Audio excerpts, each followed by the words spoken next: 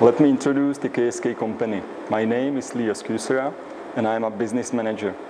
KSK was established in 1991 as a proudly Czech company. We are focusing on manufacturing of hard-facing and welding machines. Our machines are suitable for automotive, glass, engineering and other where the hard facing on the parts are welcome.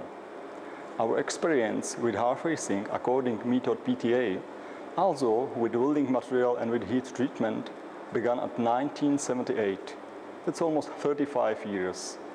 All that knowledge are necessary for to have a final hard face without defects.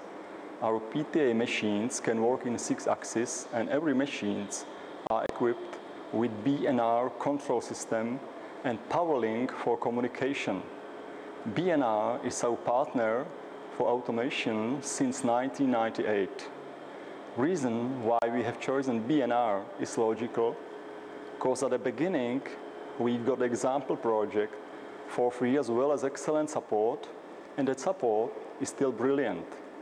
We also appreciate reliability of their products.